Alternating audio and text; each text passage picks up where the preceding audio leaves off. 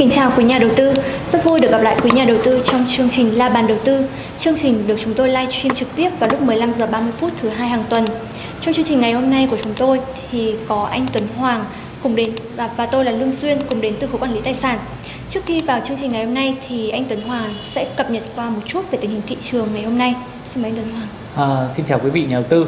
À, hôm nay thì là một ngày mà thị trường chúng ta có một cú giảm điểm rất là sâu đúng không ạ? Và khi mà giảm điểm sâu như vậy thì cũng có một dòng tiền bắt đáy khá là mạnh à, mua bật trở lại. Thì à, trước tiên thì tôi muốn cập nhật rằng là à, trong thời gian qua khi mà thị trường chứng khoán mình tăng lên rất là mạnh mẽ nó đến từ hai động lực chính. Một à, thực ra gọi là ba động lực đi đó là thép chứng khoán và ngân hàng là ba cái ngành mà tăng trưởng rất là mạnh à, và đặc biệt là ngân hàng. Thì à, trong cái điều kiện đấy thì Tuấn có muốn uh,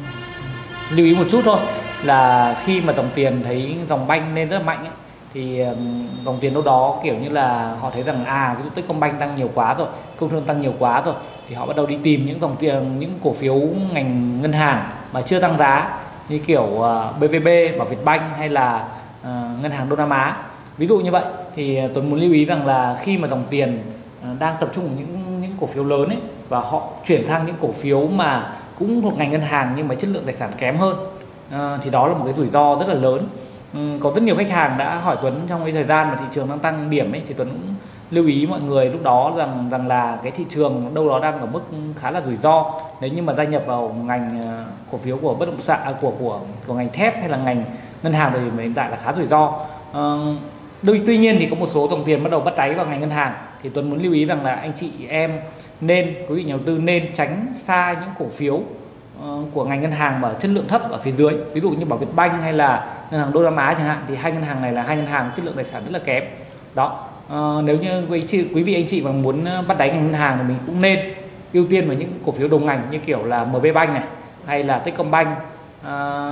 công thương đó TCBank đó, đó những ngân hàng mà nó có cái cái văn hóa hoạt động rất là năng động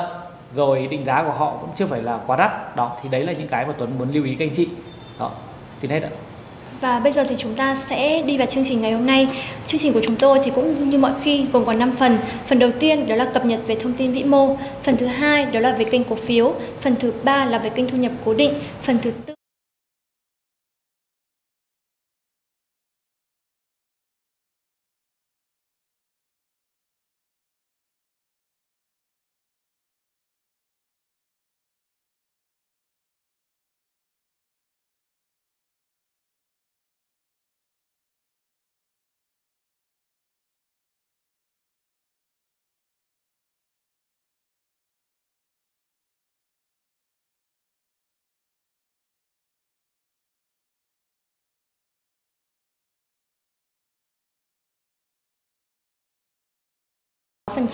và đồng thời thì cấp phép vaccine Pfizer BioNTech tiêm cho người dưới 18 tuổi. Và tại Bắc Mỹ thì 63% người trên 18 tuổi. Tại Mỹ đã tiêm ít nhất một liều với tỷ lệ hoàn thành liệu trình vaccine lên tới là 52%. Và tại Nam Mỹ, Caribbean thì tỷ lệ dương tính trung bình trong khu vực lên đến hơn 30% và 7 trên 10 nước có tỷ lệ tử vong trên 1.000 người cao nhất ở khu vực Nam Mỹ và Caribbean.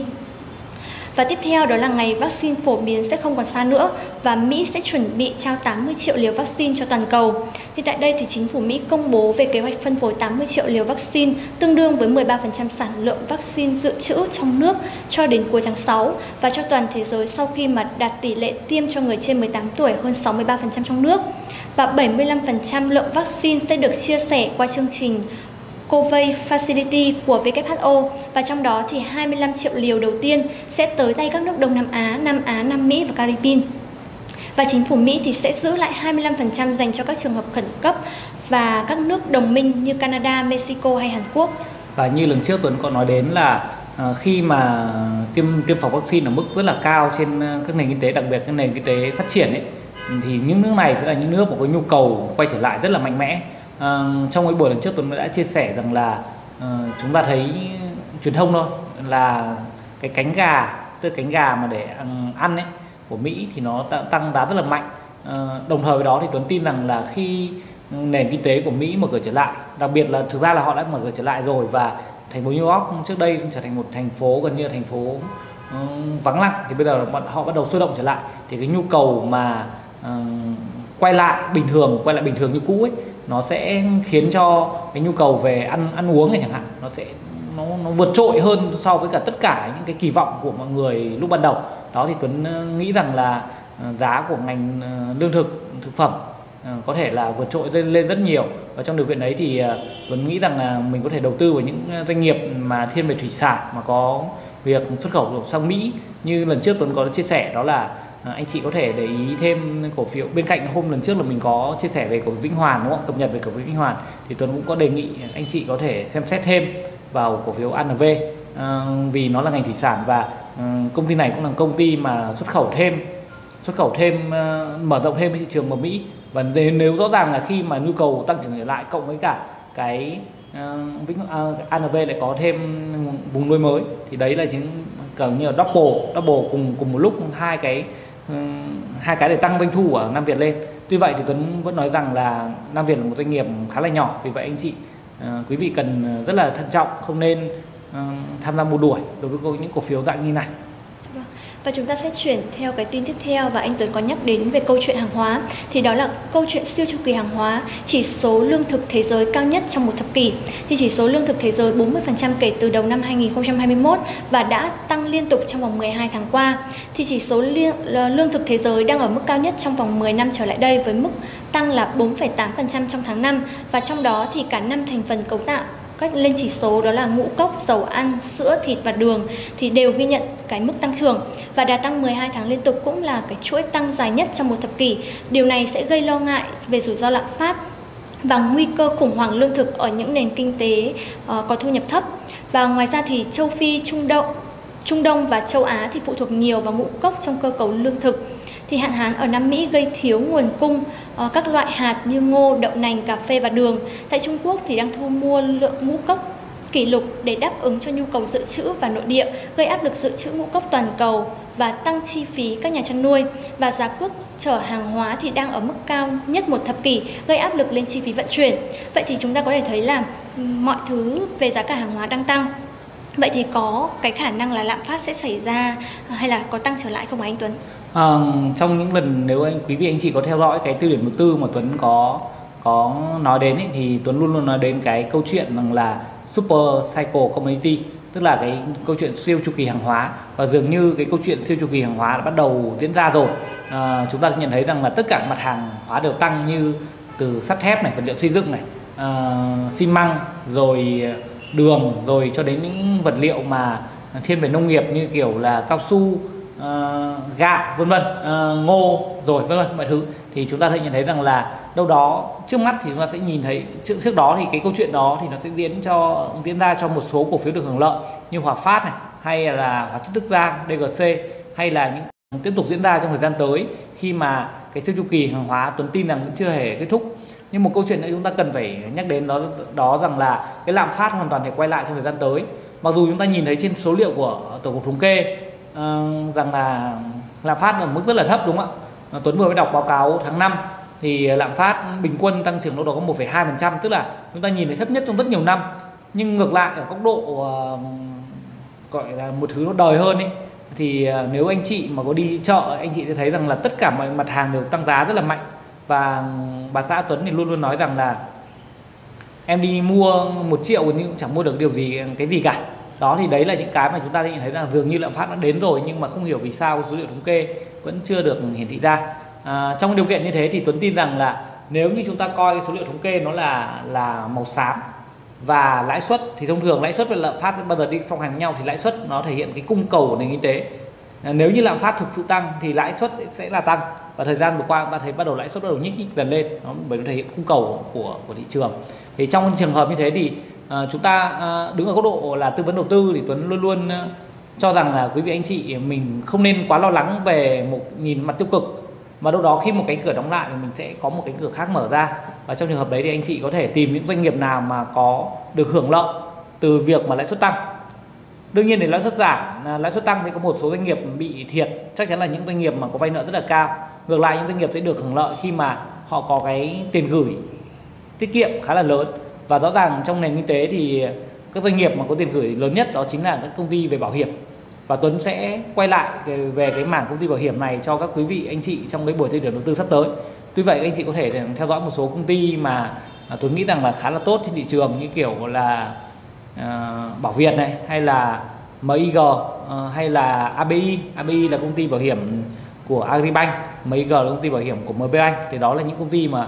anh chị có thể theo dõi thêm. Tuy vậy thì Tuấn chưa chưa có khuyến nghị gì ở đây, mà Tuấn sẽ có đánh giá trong cái buổi tư đầu tư sắp tới. Vâng. Và tiếp theo về kênh thông tin vĩ mô, đó là OPEC nâng triển vọng và giá giá dầu thì liên tục lập đỉnh. Thì giá dầu WTI và Brent đang tiến sát đỉnh năm 2018 thì việc triển khai vaccine tốt trên diện rộng cũng như là các nền kinh tế phục hồi tốt, thì giá dầu đang trên đà tăng nóng với dầu WTI là khoảng 69,11 đô và Brent là 71,61 đô thì đang tiệm cận cái mức đỉnh thiết lập cách đây 3 năm là năm 2018. Thì tính từ đầu năm đến hiện tại thì giá dầu thô đã tăng đến 40% và dự kiến là sẽ tiếp tục tăng do nhu cầu đi lại của người dân sau giãn cách xã hội được kỳ vọng là sẽ tăng đột biến.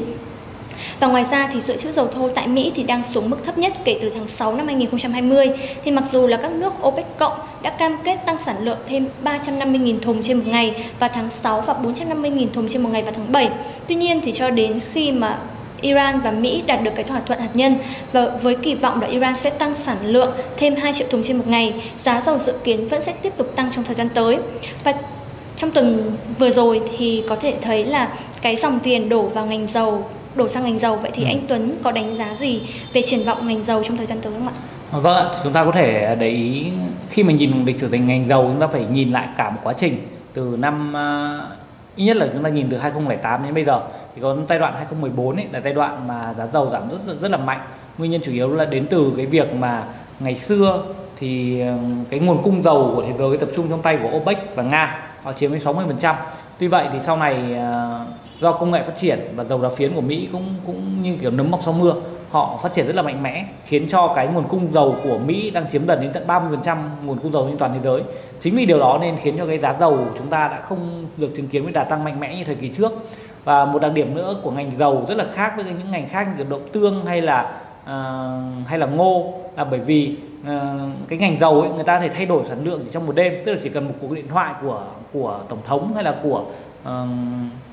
của của cái người giám đốc công ty đó. Họ chỉ cần điện thoại thôi là ngày mai cái dược sản lượng dầu để tăng thêm khoảng mấy triệu thùng luôn. Ví dụ như vậy. Thì nó rất là khác với ngành đậu tương với cả ngành ngô hay là những ngành gạo. Họ cần thời gian để họ trồng trọt thêm. Đó đó đó thì theo quan điểm của Tuấn rằng là ừ, nếu như quý vị mà có sự muốn dự đoán ngành ờ, giá của dầu khí thì Tuấn nghĩ rằng là một điều rất là khó và nó mang hàm tính may mắn nhiều hơn. À, trong trường hợp như thế thì Tuấn cho rằng là nếu quý vị đầu tư vào những công ty mà đầu nguồn như kiểu là PVS hay PVD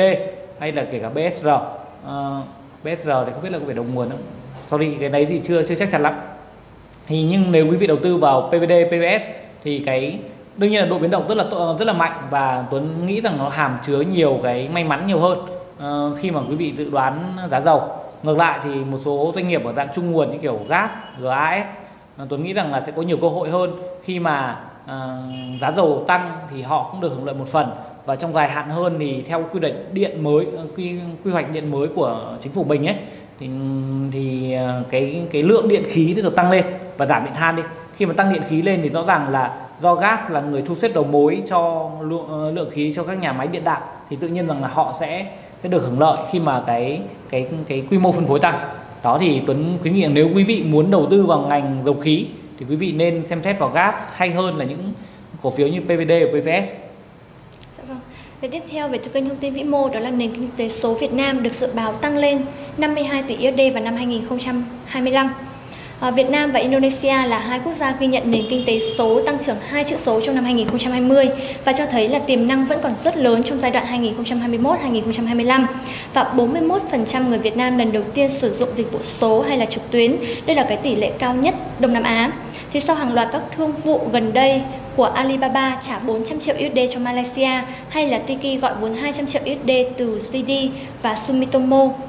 thì cái nền kinh tế số của Việt Nam trở thành cái chủ đề đáng chú ý và triển vọng lên tới là 52 tỷ USD vào năm 2025. Và chính phủ Việt Nam thì cũng đang đặt mục tiêu mua sắm trực tuyến sẽ chiếm 10% doanh số bán lẻ của Việt Nam vào năm 2025. À, chúng ta biết rằng là à, Việt Nam mình là một nước mà phát triển internet từ rất là sớm Ờ, kể cả viễn thông di động nữa. À, chính vì vậy mà khi mà cái tỷ lệ tiếp cận internet rất là cao khiến cho cái quy mô phát triển nền kinh tế số ở Việt Nam cũng cũng tốt hơn so với các nước khác. À, thứ đó là thứ nhất, thứ hai nữa là à, đợt vừa rồi thì khi mà thủ tướng Phạm Minh Chính lên à, lên lên thủ tướng đấy thì à, được kỳ vọng rất nhiều rằng là thủ tướng là một người rất coi trọng về việc phát triển cái nền tảng và phát triển cái chính phủ kiến tạo phát triển cái cái thiên về chuyển đổi số cho nền kinh tế chính vì vậy mà trong cái tháng 5 vừa qua Tuấn có đọc báo cáo của FPT tháng 4 kết quả 4 tháng. Thì uh, cái thu nhập ừ, của cái mảng kinh doanh ờ, công nghệ thông tin trong nước ấy, họ tăng trưởng rất là mạnh mẽ. Cũng một phần đến từ cái cái tăng nhu cầu chi tiêu ICT của ở Việt Nam mình. Đó thì trong cái trường hợp như vậy thì uh, nếu như chúng ta nhìn thấy rằng là cái forward tương lai còn rất là rộng mở. Và nếu như nhìn uh, như vậy nữa thì FPT cũng là một doanh nghiệp sẽ được hưởng lợi rất là lớn trong cái bối cảnh uh, tăng chi tiêu công tại À, trong nước. Và nói chung nữa thì nó được tăng chi công trên cả thế giới nữa luôn. Và FPT đang là một doanh nghiệp không còn ngày xưa chỉ là hạt cát thì bây giờ đã là hạt đỗ rồi. Nó bắt đầu to dần lên trong cái miếng bánh toàn toàn cầu. Đó. À, và sau đây thì chúng tôi sẽ chuyển sang kênh cổ phiếu. Thì kênh cổ phiếu đó là ngành ngân hàng đã hết cơn say thì nhân tố lớn nhất giúp ngành ngân hàng thu hút được cái sự chú ý của nhà đầu tư phải nhắc đến đó chính là cái game thoái vốn bán bán vốn công ty con và tăng vốn. Ví dụ như là VPBank thì thoái 49% vốn FE Credit ờ, uh, LPP thì thay đổi cơ cấu cổ đông. Ông Nguyễn Đức Thụy uh, được bầu vào thành viên hội đồng quản trị. Uh, hay là SHB thì lựa chọn được 2 đến 3 đối tác để làm uh, Ờ, để đàm phán thoái vốn tại à, tại SHPFC thì cái, ừ, chúng tôi đánh giá ở đây thì dòng tiền đầu cơ đã vào mạnh nhóm cổ phiếu ngân hàng và giá của nhóm cổ phiếu này đã tăng cao hơn mức định giá hợp lý. Và nhà đầu tư ở thời điểm này thì cần cẩn trọng một chút cũng như là ở đầu chương trình anh Tuấn có uh, lưu ý cho quý nhà đầu tư. Đúng rồi, chúng ta nên tránh những xa những công ty, những ngân hàng top dưới có chất lượng tài sản rất là kém và họ tăng theo cái sóng đầu cơ ngạch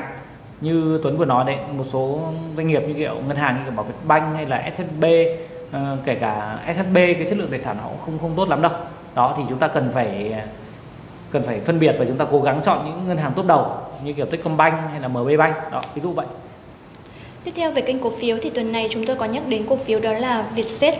Thì Vietjet E có huy động là 1.000 tỷ trái phiếu đẩy mạnh dịch vụ hàng không. Công ty cổ phần hàng không Vietjet đã vừa công bố cái kết quả huy động là 1.000 tỷ trái phiếu thông thường và không chuyển đổi, không có tài sản đảm bảo và trái phiếu chào bán có kỳ hạn 60 tháng. Ngày phát hành là ngày 24 tháng 5 năm 2021 với mục đích nhằm tăng vốn uh, tăng cái quy mô vốn hoạt động, nhằm tăng cường năng lực khai thác vận tải hàng không và phát triển các hoạt động kinh doanh khác. À, và sau khi mà cái đợt phát hành này thì kết quả đó là có một nhà đầu tư tổ chức trong nước đã mua hết cái lô trái phiếu trên. Và bên cạnh cái vận tải hành khách thì Vietjet cũng tiếp tục tăng cường các giải pháp như tăng doanh thu phụ trợ, đưa cơ cấu doanh thu phụ trợ đạt gần 50% và góp phần tăng doanh thu chung của hãng. 3 tháng đầu năm thì Vietjet đã thực hiện được hơn 21.000 chuyến bay, vận chuyển gần 3,6 triệu lượt hành khách. Và các chuyến bay của Vietjet có tỷ lệ đúng giờ trên 90% và đây là tỷ lệ cao nhất trên thế giới do Việt Nam mình vẫn là một nước mà có tỷ lệ tiêm phòng vaccine rất là thấp à, trên toàn thế, à, so với trên toàn thế giới. Chính vì vậy mà cái ngành hàng không Tuấn cho rằng là cái sự phục hồi sẽ đến chậm hơn so với ngành khác. Ừ, nếu theo dự báo ban đầu của Tuấn thì đó phải đến từ quý 3 khi mà các à, các nước ở Bắc Mỹ hay là châu Âu họ được tiêm phòng rất là lớn. Nhưng mà với cái tiến độ Việt Nam này Tuấn nghĩ rằng chắc là phải sang đến đầu sang năm thì cái ngành này mới thực sự phục hồi. Cái điều thứ nhất điều thứ hai nữa là cho dù như vậy thì cái giá cổ phiếu ngành hàng không này không bị giảm quá nhiều đâu nên thành ra là quý vị đầu tư sẽ không có nhiều Tuấn cảm thấy rằng là không, không có nhiều cơ hội cho ngành ờ, hàng không đó Tiếp theo đó là chúng tôi sẽ cập nhật một chút về hiệu quả của quỹ vn đáp tính đến ngày 3 tháng 6 năm 2021. Thì tăng trưởng của NAP trên chứng chỉ quỹ uh, đạt 42,45% so với chỉ số VN30 Index đạt uh, đạt 40,86%. À, tiếp theo thì chúng tôi sẽ chuyển sang kênh thu nhập cố định với kênh tiền gửi tháng 6 năm 2021 thì mặt bằng lãi suất vẫn ở mức ổn định. Thì như những tuần trước thì lãi suất tiền gửi vẫn giữ nguyên ở hầu hết các ngân hàng và chúng tôi có đánh giá đó là mặt bằng lãi suất vẫn ở ổn định trong những vài à, trong vài tháng tới với chỉ ờ, và chỉ có khả năng tăng vào cuối năm ờ, và nếu tín dụng tăng mạnh Tuy nhiên thì khả năng này phụ thuộc vào diễn biến của dịch bệnh và mức độ lạm phát và khả năng mở rộng tiêm chủng vaccine phòng Covid-19 cũng như là tốc độ phục hồi của nền kinh tế. Tiếp theo thì chúng tôi sẽ cập nhật về kênh thu nhập cố định tại VN Direct. Vào ngày 4 tháng 6 năm 2021 thì tại VN Direct có kênh thu nhập cố định D-Money với lãi suất cam kết của VN Direct. Thì quý nhà đầu tư có thể đầu tư với giá trị tối thiểu là 1 triệu đồng trong thời hạn từ 1 tuần đến 2 tháng với lãi suất dao động từ khoảng 3,1% đến 5,2%. Kênh thứ hai đó là kênh trái phiếu D-Bond thì trái phiếu VN Direct cam kết lãi suất cố định với kênh trái phiếu này, quý nhà đầu tư có thể đầu tư trong thời hạn từ 3 tháng, 6 tháng, 9 tháng và 12 tháng với lãi suất dao động trong khoảng từ 6,8% đến 8,4%. Và kênh thứ ba đó là kênh trái phiếu Vbond, trái phiếu mà VNRX cam kết mua bán lại. Thì với kênh này thì chúng uh, thì quý nhà đầu tư đầu tư với cái lãi suất rơi vào khoảng từ 9,8%. Tiếp theo, uh, sang kênh tài sản khác thì tuần này chúng tôi vẫn nhắc đến kênh tài sản đó là bất động sản với số km đường cao tốc gấp 3 là năm 2030 uh, ờ, và bất động sản vùng ven sẽ là xu hướng. Thì chính phủ cho biết đó là cái nhiệm vụ chính trị đến năm 2030 của Việt Nam là cần xây dựng thêm 4.000 km gấp 3 lần số km đường cao tốc thực hiện trong năm 2000 uh, ờ, thực hiện trong 20 năm trước. Uh, thì tốc độ tối đa được phổ biến sẽ ở mức là 100 đến 120 km/h và xu hướng này chúng tôi đánh giá là uh, xu hướng ở ngoại thành và đi làm ở trung tâm sẽ trở nên phổ biến và bất động sản vùng ven sẽ trở nên hấp dẫn. À, có một điểm rằng là Tuấn có xem về cái sự phát triển của của nền kinh tế Hàn Quốc ấy, được ờ, gọi là kỳ tích sông Hàn à, thì cái sự phát triển của của đất nước Hàn Quốc đến từ việc đầu tiên đó là tổng thống Park lúc đó ông ý có đẩy mạnh phát triển các đường ờ, cao tốc mà nối liền từ ờ, Buhan Buhan ờ, à, hay Suhan đến ờ, Seoul. Chính xác thì cái tên thành phố Tuấn không nhớ lắm. Nhưng mà sau khi mà tạo những cái tuyến đường cao tốc lớn như vậy thì cái nền kinh tế cũng phát triển rất là mạnh mẽ. À, theo đó thì Tuấn rất là kỳ vọng rằng là khi mà Việt Nam mình đẩy mạnh xây dựng đường cao tốc bởi vì đường cao tốc bao giờ cũng là cái nền tảng cho sự phát triển nền kinh tế thì Tuấn tin là ừ, kỳ vọng rằng là GDP của mình sẽ phát triển tốt hơn ngoài ra thì theo như bạn duyên vừa nói đó là uh, những doanh nghiệp mà có cái quỹ đất ngoại thành ấy thì đâu đó chúng ta sẽ chứng kiến được là cái việc tăng giá của bất động sản vùng ven đúng không ạ? Nhưng song song với đó thì cũng là việc mà giao thông tức là cái cái cái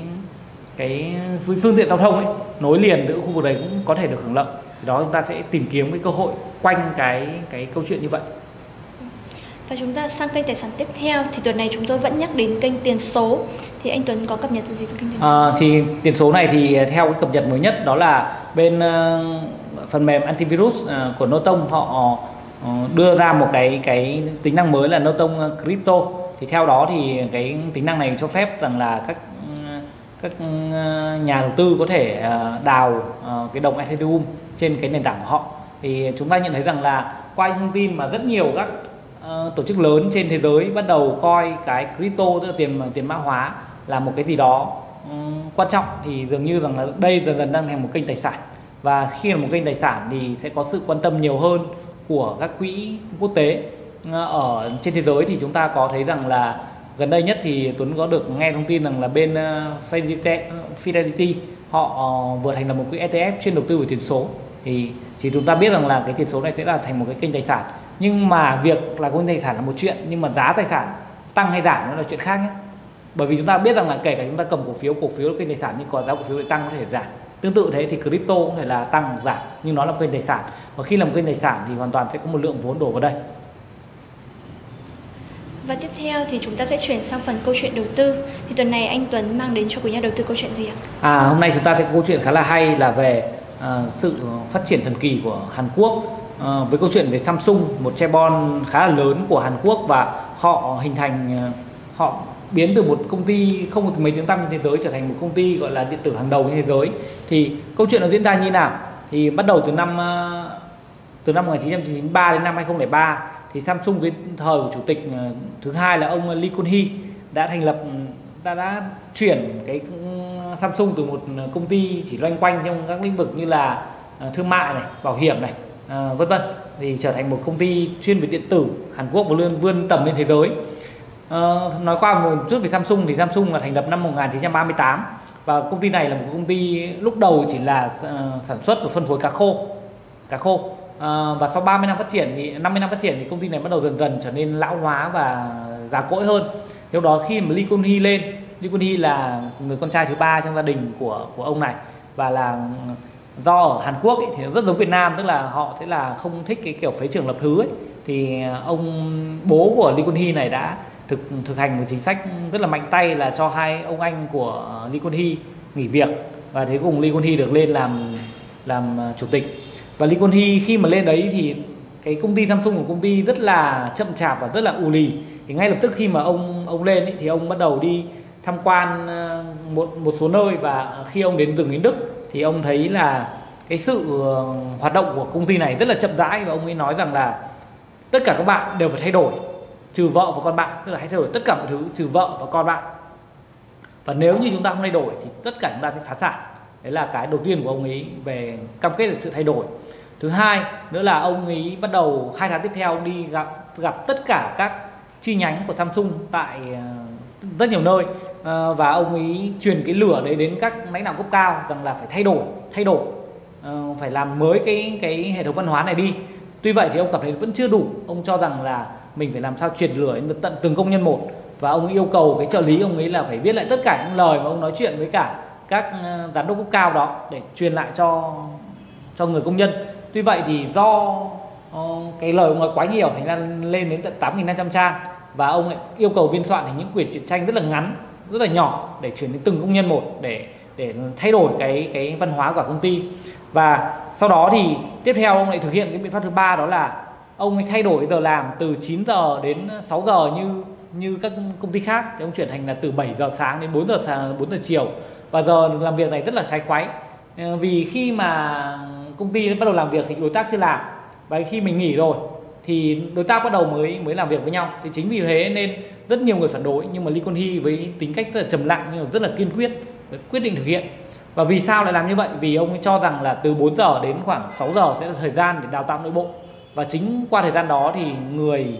uh, của uh, Samsung ngày càng trở nên giỏi hơn. Đó. Và uh, ông ấy đưa ra tiêu chí 5% tức là uh, 5% quản lý mà sẵn sàng thay đổi theo cái điều ông ấy nói thì sẽ được cân nhắc lên cấp cao hơn đó thì sau sau qua rất nhiều cái biện pháp rất là mạnh tay như thế thì Samsung đã trở thành một tập đoàn rất là năng động ờ, một tập đoàn rất là coi trọng con người và cái trình độ ờ, trí tuệ tập thể nó được nâng lên rất là cao. Và uh, nếu như để đầu tư thì Tuấn tin rằng là ừ, các anh chị uh, nên đầu tư những công ty mà có văn hóa thực thi công việc rất là mạnh mẽ này uh, lãnh đạo có tầm tức là cái tầm nhìn của lãnh đạo rất là xa. Và thứ ba nữa là coi trọng con người coi trọng cái trí tuệ uh, tập thể uh, thì đây là những công ty mà có được cả ba điều này là những công ty ờ, doanh nghiệp rất là xứng đáng đầu tư trong dài hạn. Dạ vâng, vậy thì là trên đây thì chúng tôi cũng đã cập nhật xong những cái nội dung chính trong chương trình ngày hôm nay. Um, và ngoài chương trình ngày hôm nay của chúng tôi thì chúng tôi thường có thêm một chương trình nữa đó là tiêu điểm đầu tư. Trong chương trình này thì chúng tôi sẽ có nhận định, quan điểm về phân tích cơ bản và phân tích kỹ thuật các topic trong ngành như lúc nãy anh Tuấn có giới thiệu thì uh, trong tương lai thì chúng tôi sẽ nói về ngành bảo hiểm. Chương trình này sẽ diễn ra vào lúc 14 giờ thứ tư hàng tuần ở trên kênh YouTube của chúng tôi. Và chương trình thứ hai đó là chương trình 360 độ của cổ phiếu. Thì với chương trình này thì chúng tôi sẽ phân tích một cổ phiếu theo hai phương diện tích cực và tiêu cực để quý nhà đầu tư có cái góc nhìn toàn diện về cổ phiếu đó thì sẽ được diễn ra vào lúc livestream trực tiếp vào lúc 15 giờ 30 phút thứ năm hàng tuần. Và chương trình thứ ba đó là đối thoại với PM. Ở đây chúng tôi sẽ mời những PM nổi tiếng trên thị trường để họ chia sẻ những triết lý hay chiến lược đầu tư của họ để quý nhà đầu tư tham khảo và rút ra được những bài học cho mình. Chương trình này thì sẽ được livestream vào lúc 9 giờ uh, sáng thứ bảy hàng tuần. Ngoài ra thì chúng tôi có hai cộng đồng đó là VN Direct đầu tư tích sản tăng trưởng bền vững và cộng đồng uh, giao dịch chứng khoán đi trade. Và như chúng tôi nói thì khá là nhanh và chúng tôi đã để lại đây những cái QR code để quý nhà đầu tư có thể um, chạm vào và mình truy cập vào những cái trang của chúng tôi và tất cả các chương trình của chúng tôi thì sẽ được cập nhật ở trên trang trung tâm tư vấn đầu tư VN Direct. Ok. Và bây là giờ có một số câu hỏi. Chúng tôi mình... sẽ sang vào phần uh, câu hỏi thì à, Tuấn xin đọc một số câu hỏi của Tuấn có thể à, trả lời. Những câu nào mà Tuấn khả năng trả lời được thì Tuấn sẽ trả lời ngay tại đây. Và những câu nào không trả lời được Tuấn sẽ chat lại sau đến quý vị anh chị ạ. À, có một số câu hỏi à, anh chị về IDI xuất khẩu các cá tra. Thì IDI có một đặc điểm rằng là cái ban lãnh đạo của bên đó thì Tuấn chưa chưa có đủ thông tin để đánh giá. Bởi vì khi chúng ta nhìn một doanh nghiệp thì chúng ta cần phải nhìn cả rất nhiều thứ đúng không ạ? Rồi đến cạnh tranh này ban lãnh đạo này rồi xu thế vĩ, vĩ mô rồi định giá đó thì trong cổ phiếu của của IDI thì Tuấn nhận thấy rằng là phần ban lãnh đạo thì Tuấn không thể đánh giá được doanh nghiệp này. Nên chính vì vậy mà Tuấn sẽ không có comment đối với doanh nghiệp IDI rồi ờ, uh, SHB thì uh, đó là quan điểm cá nhân thôi. Thì uh, Tuấn nghĩ rằng là đó là quan điểm phân tích. Rồi thứ hai thứ ba nữa là câu hỏi cuối cùng là câu hỏi về GMD và đích tổng có nên mua thêm giai đoạn này hay không? Thì đối với GMD thì Tuấn cho rằng là một cơ hội khá là tốt uh, khi mà uh, doanh nghiệp này có thêm cái cảng Veman Linh và đồng thời với đó là cái bộ tứ gọi là bộ tứ kinh tế tại khu vực uh, đồng bằng sông Cửu Long ấy gồm uh, Hồ Chí Minh, Đồng Nai, Bình Dương và Bà Rịa Vũng Tàu là khu vực kinh tế khá là năng động. Và GMD đang coi như là một tâm điểm ở chỗ đấy vì uh, nó có hai cảng cảng cát lái và cảng cảng mét Thị vải. Và đặc biệt là cảng cảng mét Thị vải đang là cảng đang được uh, cái lượng hàng đi qua rất là nhiều đó thì Tuấn nghĩ rằng GMD sẽ có rất nhiều câu chuyện để kể trong trong thời gian tới Tích Tổng cũng là một câu chuyện chưa câu chuyện tương tự khi mà họ có bất động sản vùng ven cũng khá là lớn thì đó Tích Tổng là một câu chuyện khá là hay đó thì đấy là những cái quan điểm của Tuấn về các các doanh nghiệp các câu hỏi của quý vị đầu tư Cảm ơn quý vị đầu tư đã theo dõi chương trình của chúng tôi. Xin chào và hẹn gặp lại. Xin chào và hẹn gặp lại.